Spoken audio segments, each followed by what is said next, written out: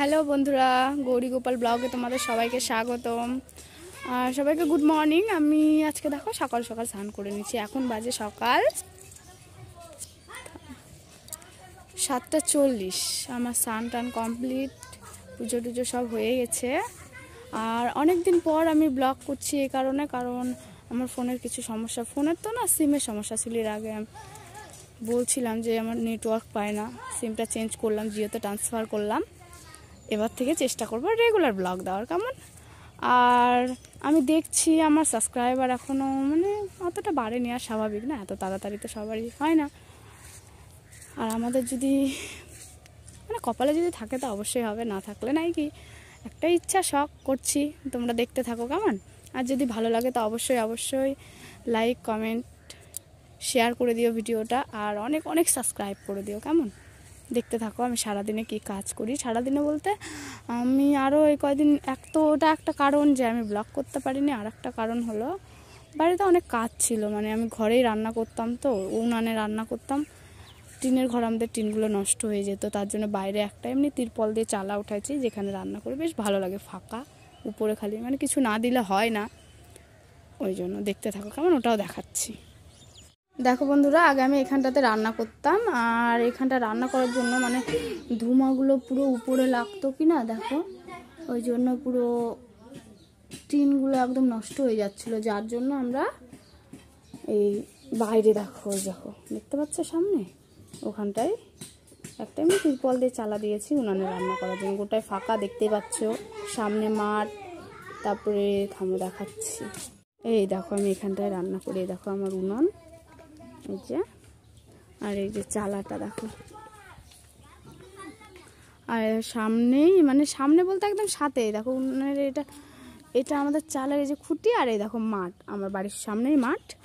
মাঠ আর ওই সাইডে যে রাস্তা, বাড়িঘরগুলো দেখা যাচ্ছে, ওখান দিয়ে রাস্তা। বেশ ভালো লাগে এখানে বসে রান্না করতে, ফাঁকা জায়গা কি না তো দেখতে থাকো।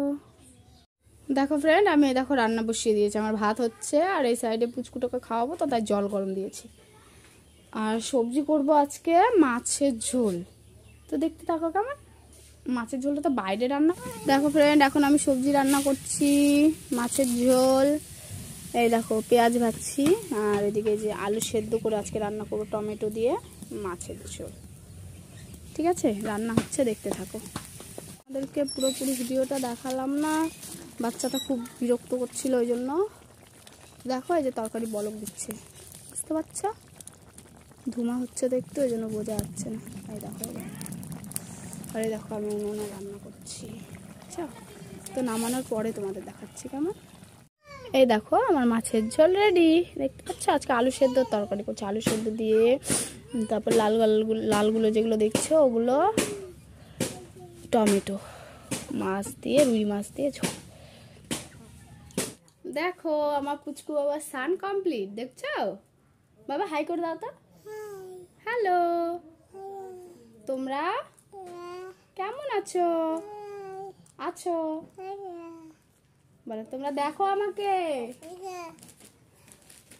দেখো আমার পুচকু বাবাটাকে দেখো দেখো দেখো দেখো। আমার শোনা বাবা এটা। টাটা করে দাও বাই বাই। বলো বাই বাই বলো।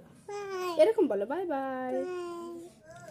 দেখো, আমরা সন্ধ্যাবেলা আবার চলে আসলাম তোমাদের সঙ্গে। তোমাদেরকে বলছিলাম না যে বিকালবেলা দেখাবো তো বিকালবেলা না? মানে টাইম পাইনি মেন কথা, শোনো। আর সন্ধ্যাবেলা এখন এক জায়গায় গিয়েছিলাম ঘুরতে, সেখানেও ক্যামেরা মানে ভিডিও করাটা আমার কাছে ঠিক মনে হলো না, ওই জন্য করিনি।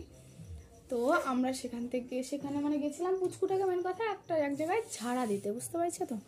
তো ঝাড়া টাড়া দিয়ে, আর ঠান্ডার দিনে আমাদের এখানে মানে আমাদের এখানে বলতে কি, আমার কাছে বেস্ট সন্ধ্যাবেলা খাওয়ার যেটা মনে হয়, একটা খাবার নিয়ে আসলাম। তো দেখো, ঠিক আছে? কি নিয়ে আসলাম? দেখো। এই দেখো, গরম গরম ভাপা পিঠা, গুড় দিয়ে, নারকেল দিয়ে। এই দেখো, আমার পুচকুটা এখন বসে বসে খাবেন মহারাজা। একদম ডাইনিং টেবিলে বসে পড়ছেন। দেখলাই তো খাওয়ার হাত ছিল। খাওয়া হবে বাবা? ওই দেখো দেখো। খাবে এখন। তো বন্ধুরা, তোমরা কে কে খাবে? চলে আসো আমাদের বাড়িতে, কেমন? ঠিক আছে? আর আজকে ব্লগটা এখান থেকেই শেষ করছি। তোমরা সবাই ভালো থেকো, সুস্থ থেকো, আর আমার চ্যানেলটা লাইক, কমেন্ট, শেয়ার করে দিও। অনেক অনেক সাবস্ক্রাইব করে দিও, কেমন? Tata, bye bye, good night.